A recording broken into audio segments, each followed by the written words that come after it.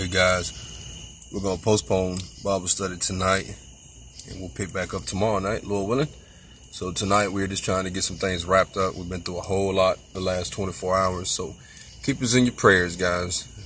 That uh, all things will be paved in our path as we go through these changes here in this season.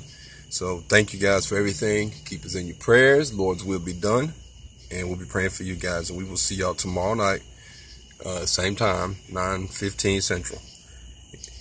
Lord willing, we'll see you then. Thank you guys.